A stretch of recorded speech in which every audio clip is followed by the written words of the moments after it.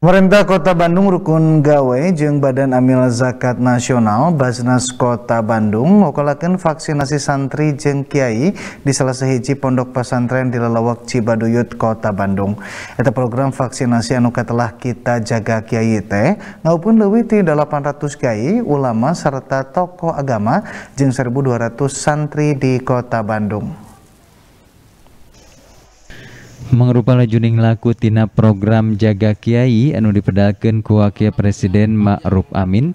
Pemerintah kota Bandung diwogan ku Badan Amil Zakat Nasional Basnas Kota Bandung mengkolakeun vaksinasi pikeun mangrebu-rebu santri kiai ulama turta tokoh agama di salah saji pondok pasantren di Lalawak Cibaduyut Kota Bandung Dina eta program vaksinasi anu telah kita jaga kiai teh ngaupkeun leuwih ti 800 kiai, ulama sarta tokoh agama turta 1200-an santri anu aya di Kota Bandung.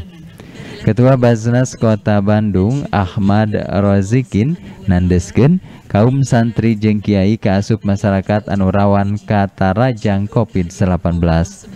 Ngalibatan eta program vaksinasi teh dipiharap sarerea bisa ngajaga kiai turta dipiharap mampu nyengker sumebarna COVID-19 di papada santri, ulama, tokoh agama jeung kiai. Kota Bandung kita berkontribusi untuk memvaksin santri sebanyak 1.211 dan kiai 810 dalam dua hari.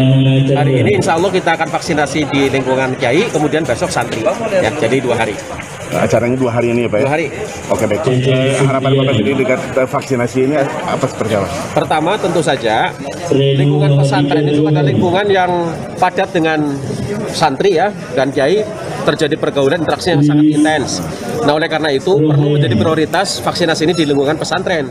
Lianti di Kota Bandung, program vaksinasi Kita Jaga Kiai teh bakal nargetkeun tilu juta santri serta kiai di Sakuliah Jawa Barat turta bakal dilakukan secara hambalan serta mayeng. Yuana Kurniawan, Bandung TV.